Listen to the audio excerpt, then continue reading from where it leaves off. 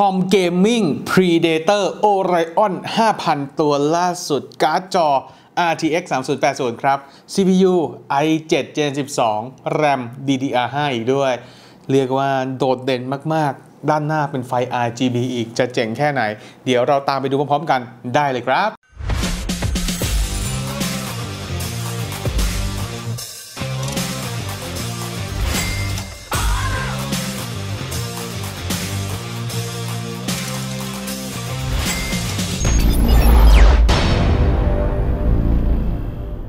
สวัสดีครับ อยู่กับแอดบิกเจนนรงอินรุนนะครับ และนี่คือ Predator Orion 5000 PO 5640 นะครับ ก็จะแบ่งเป็นชื่อได้แบบ 2 แบบก็คือชื่อที่เป็น model name นะครับ กับชื่อที่เป็น SKU นะ ถ้าเป็นชื่อที่เราเราเรียกกันก็จะเป็น Predator Orion 5000 แต่ถ้าเป็นแบรนด์เรียกนะครับ เขาจะเรียกว่า Predator PO 5640 ช่างแตกต่างกันซะเหลือเกินอะแต่หลักใหญ่ใจความนะครับ เจ้าเครื่อง Orion 5000 ตัวนี้ผมขอเรียก Orion นะ ก็จะเป็นเครื่อง PC เป็นคอมแบรนด์สำเร็จรูปในแบบเกมมิ่งนะครับแน่นอนถ้าพูดถึง Predator หลาย ๆ คนก็จะนึกถึงแบรนด์เกมมิ่งที่ดุเด็ดเผ็ดมันในเรื่องของสเปค ในเรื่องของราคาที่สมเหตุสมผลสมค่าตัวสเปคแรงสูง แน่นอนครับ นี่คือหนึ่งในตัว Predator ที่น่าสนใจมาก เพราะสเปคเองมาพร้อมกับ CPU เป็นตัว Intel Core i7 12700 นะครับ เป็น Hybrid CPU ตัวแรงอยู่ด้านในเลย พร้อมกันนั้นมี DRAM นะครับ เป็น DDR5 อ่า RAM DDR5 ความจุ 32 GB ใส่อยู่ด้านในนะครับ เป็นแบบ Quad Channel ด้วยกราฟิกการ์ดหรือการ์ดจอต้องบอกว่าโหดมากๆนะครับเขาใส่การ์ดจอ RTX 3080 มาให้เป็นการ์ดจอในรูปแบบปกติเลยนะครับ เป็นการ์ดจอแบบเกมมิ่งประสิทธิภาพแบบเต็มเม็ดเต็มหน่วยเลยนะครับ การ์ดจอตัวนี้จะมี RAM GDDR6X นะครับ 10 GB อยู่ด้านในด้วย แล้วก็มีไฟเปล่งประกายตรงนี้เดี๋ยวเราจะแกะเคสให้ดูกันแบบชัดๆ อีกทีหนึ่งนะครับ ในเรื่องของ storage นะครับเป็น PCIe Gen 4 1 TB ใส่อยู่ด้านในนั่นเองนะครับแล้วก็จะมีเรื่องของการระบายความร้อนนะครับพัดลมด้านหน้า 2 ตัว sizing ใหญ่ พัดลมด้านหลังอีก 1ตัวนะครับซึ่งเป็น RGB ที่เราสามารถปรับแต่งได้นะครับในฝั่งของตัวไฟล์ แต่ต้องปรับภายในซอฟต์แวร์นะฮะจะกดแบบปึ๊กปึ๊กปึ๊กเลยเหมือนแบบเคสทั่วไปไม่ได้ เขาจะมีซอฟต์แวร์ที่เป็น Predator Sense ของเขาคอยปรับแต่งอยู่นั่นเองนะครับในฝั่งของด้านในนะฮะก็จะมีตัวพัดลมระบายความร้อนที่เป็นไซส์ใหญ่ขึ้นมานะครับสำหรับระบายความร้อนให้กับตัว CPU ที่เป็นตัว Core i7 ด้านในตรงนี้ เป็นไฟ RGB ที่ synchronize กันทั้งหมดด้วยนะฮะ นี่คือ body ด้านนอกของเขานะครับวัสดุนะครับเป็นอย่างไรบ้างด้านหน้าของตัวเคสนะครับ กระจก temper นะครับพร้อมกับตัวพัดลมนะครับที่ดูดลมเย็นเข้าไปนะฮะเป็นลักษณะคล้ายๆอารมณ์แบบ turbulent นะอ่าตัวนี้ไฟปรับได้อย่างที่บอกกัน โดยจะมีช่องด้านข้างตรงนี้นะครับถ้าสังเกตดูการช่องตรงนี้จะเป็นช่องดูดลมเย็นเข้าไป ด้านหน้าเป็นกระจกแต่ข้างๆ จะ เรียกว่ายกระดับขึ้นมาให้ดูดลมได้นะครับ ช่วยกันระบายความร้อนนั่นเอง ในฝั่งของพอร์ตเชื่อมต่อด้านบนก็จะมี USB Type C 1 พอร์ตนะครับ USB Type A 3 พอร์ต Audio แจ็คนะครับไมโครโฟนกับหูฟัง แล้วก็ปุ่มเปิดปิดอยู่ด้านบนนั่นเองนะฮะ ส่วนด้านหลังครับตัวมันหนักแล้วมันใหญ่จริง ๆ ด้านหลังของตัวเครื่องนะครับ ก็จะมีเป็น USB นะครับ 1 2 3 4 5 6 7 8 นะครับทางที่ด้านหลังนะครับก็จะมี USB นะครับ ตรงนี้ 4 พอร์ต 5 พอร์ต 6 พอร์ต รวมกับบริเวณด้านบนนะครับ เป็น 10 พอร์ตด้วยกัน มีตัว LAN นะครับ แล้วก็มีตัว Wi-Fi 6 อยู่ด้านในพร้อมกับ Bluetooth นะครับ แล้วก็ Audio 5.1 ช่องตรงนี้จะเป็นช่องสำหรับตัวการ์ดจอนะครับ ที่เป็นพอร์ต HDMI กับ Display Port นะครับ HDMI มี 1 พอร์ต Display Port มี 3 พอร์ตนั่นเองนะครับ อะ เดี๋ยวเรามาดู อีกฟากหนึ่งกันนะครับ ฟากนี้ก่อน เราจะมาแกะฝาข้างดูกันนะครับ ตัวนี้มีประกันนะครับเป็น on-site service 3 ปีนะครับ ไม่ต้องห่วงในเรื่องของบริการหลังการขายเลยนะฮะ ซ่อมเครื่องถึงบ้านในส่วนนี้ ฝาข้างนะครับเป็นกระจก tempered นะฮะนี่ก็แกะตัวฝาข้างแล้วก็เอากระจกออกมาดูกัน ฮ้ยมันเป็นสไลด์แบบนี้เว้ยแต่ว่าต้องระวังด้านนี้นะฮะ ข้างหน้าตรงนี้มันอาจจะไปเกี่ยวกับข้างล่างได้นะครับ แล้วก็แตกโบรต้องระวังต้องระวังแต่มีนี่รองอยู่เป็นเหล็กรองก็โอเคนะครับ กระจกหนามากแล้วหนักมากให้ดูกันนิดนึงสำหรับตัวกระจกข้างล่างก็จะเป็นขอบที่เป็นเหล็กด้วย เสริมความแข็งแกร่งเอาไว้ แต่ผมก็ไม่ไว้ใจอยู่ดีกลัวมากเลย เรื่องของกระจกเนี่ย อะด้านในนะครับ เดี๋ยวเรามาดูกันว่ามีอุปกรณ์อะไรกันอยู่บ้าง เดี๋ยวเปิดไฟด้วยดีกว่า จะได้เห็นกัน อ่า นี่ฮะ อย่างที่บอกว่าเป็นไฟ RGB ก็จะปรับสี ปรับแสงได้ด้วยนะครับ ไล่ลงมาตรงนี้เลยดีกว่า ตรงนี้นะครับจะเป็น rack ของตัวฮาร์ดดิสก์นะครับ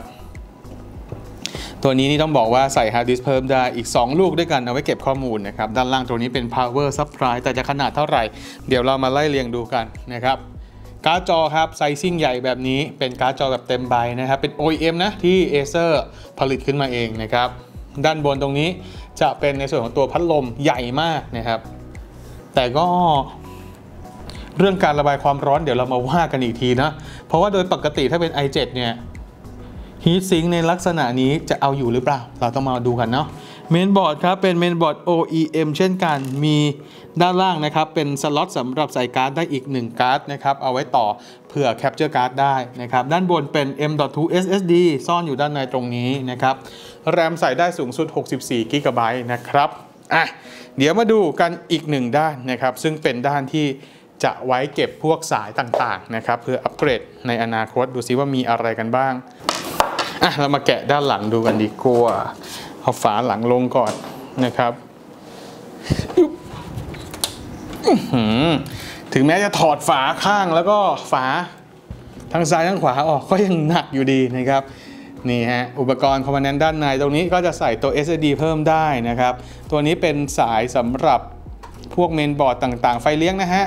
ไฟเลี้ยงตัวเมนบอร์ด ไฟเลี้ยงตัว CPU นะครับ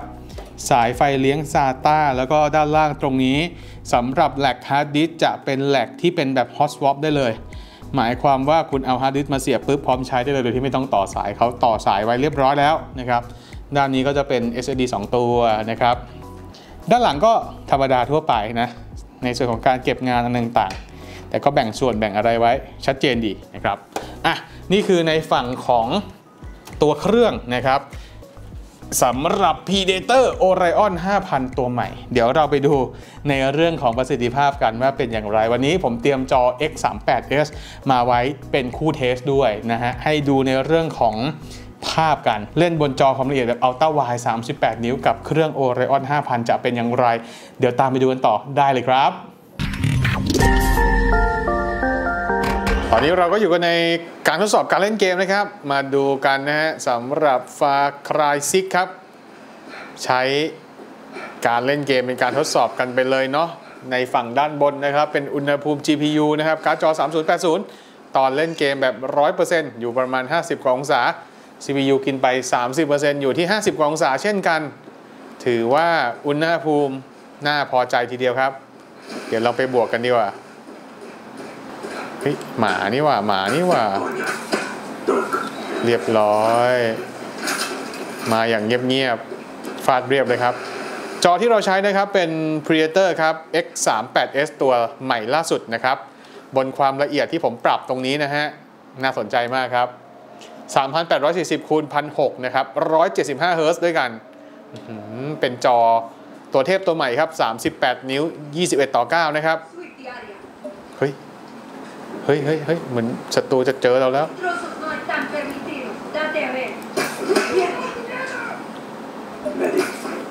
หมอหมอหมอมีหมอด้วยตรงนี้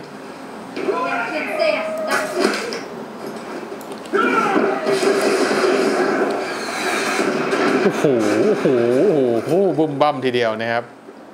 ก็เล่นได้ลื่นไหลครับ แม้แต่ตัวจอไซส์ 38 นิ้ว ยิงซ้ำยิงซ้ำนี่ก็คือเกมฟาครายนะครับ ตัวเครื่องกับตัวจอรวมกันนี่ทำประสิทธิภาพได้เต็มที่มาก ๆ นะครับ เหมาะสมกันเป็นกิ่งทองใบหยกกันเลยทีเดียว ยิงไม่ถึงสไนเปอร์ถึงไหม ไม่ถึงไกลเกินศัตรูของเรานั่นเองเฮ้ยมีกล่องตรงนี้ด้วย เดี๋ยวไปแอบเก็บกล่องกันก่อนนะฮะ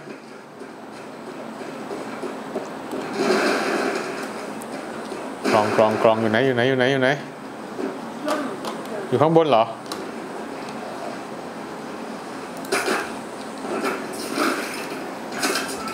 เฮ้ยศัตรูก่อนแล้วกันเฮ้ยปลาว่าว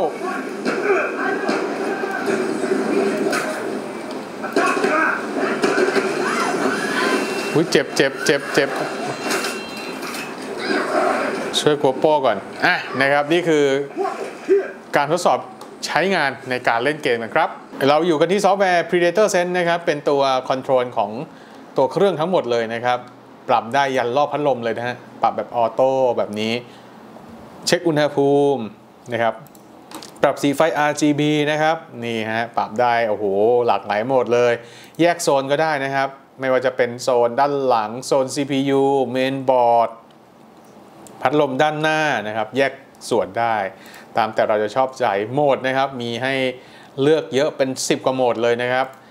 น,นี่ก็จะเป็นปรับรอบพัดลมได้ด้านหลังนะครับ ตรง CPU ตรงกลางที่เป็นตัวการ์ดจอรวมไปถึง ตรงนี้ก็จะเป็น front ด้านหน้านะครับ แล้วก็เช็คในส่วนของตัว สถานะนะครับความร้อนแล้วก็โหลดของการใช้งานนะครับใครที่เป็นเจ้าเข้าเจ้าของตัว PC Predator นะครับมาสามารถปรับตัวนี้ได้เลยนะครับมีประโยชน์มากๆสำหรับตัวซอฟต์แวร์ตัวนี้ครับเป็นอย่างไรกันบ้างล่ะครับสำหรับประสิทธิภาพแหมมันต้องดีอยู่แล้วแหละเนาะเครื่องมาขนาดนี้จัดเต็มขนาดนี้ไฟ RGB มาเต็ม ในเรื่องของ component ในเรื่องของฮาร์ดแวร์มาเต็มแบบนี้ ต้องบอกว่าโอ้โหเป็นเครื่องที่สุดจริง ๆ เครื่องนี้ราคาอยู่ประมาณ 85,000 ถึง 89,000 บาทนะครับ ถามว่าคุ้มค่าไหมในช่วงนี้ ผมคำนวณให้คร่าวๆเลยก็แล้วกัน CPU อยู่ไม่เกิน 15,000การ์ดจอตอนนี้ 3080 อยู่ประมาณ 30,000 รวมกันเป็น 45,000นะครับ แรม 32 g b DDR5 นะครับ เมื่อกี้ 45,000 รวมแรมนะฮะ ก็ประมาณ 1 0,000 ก็เป็นประมาณสัก 5-60,000นะตีสัก60,000 ก็แล้วกันนะครับ Power Supply นะฮะหกหมื่นนะฮะก็หกหมื่นห้ารวมนู่นรวมนี่รวมนั่นประกันนะฮะผมว่าก็ใกล้เคียงกับราคาในการประกอบนะครับ แต่ มันก็จะมีข้อดีอยู่นะครับสำหรับตัวเครื่องที่เป็นเครื่องสำเร็จรูป เราก็ไม่ต้องดูแลอะไรให้มันยุ่งยาก ที่สำคัญมี Windows ลิขสิทธิ์มาให้ในตัวด้วย แล้วก็มีบริการหลังการขายที่ซ่อมเครื่องถึงบ้านนี่คือข้อได้เปรียบของคอมแบรนด์แต่ถ้าคุณที่เป็นคนที่มีเรื่องของความรู้เรื่องคอมพิวเตอร์อยู่แล้ว แล้วก็เป็นคนที่ชื่นชอบในเรื่องของเทคโนโลยีต่างๆ อยู่แล้วประกอบเองได้ แบบนั้นก็แลดูที่จะคุ้มกว่านะครับก็ลองดูแล้วกันนะครับว่าเป็นยังไงตอบโจทย์หรือเปล่า นะบางคนก็อาจจะมองว่าคอมในเรื่องของคอมประกอบเองคุ้มกว่านั่นเอง แต่ในมุมมองของ a d b i c ถ้าคุณไม่อยากจะยุ่งยาก เครื่องแบบนี้ถือว่าตอบโจทย์ได้ดีทีเดียวนะครับ ฝากไว้ด้วยนะครับสำหรับ Predator Orion 5000 นะครับ PO5 640 ตัวนี้ขอบคุณ Acer ที่เอื้อเฟื้อตัวในฝั่งของ PC เครื่องนี้มาด้วยรวมถึงตัวจอนะครับ X38S ตัวล่าสุดแน่เด็ดจริง ๆ นะครับ ฝากไว้ด้วยนะครับ วันนี้ขอตัวลาไปก่อนแล้วครับ สวัสดีครับ Thank you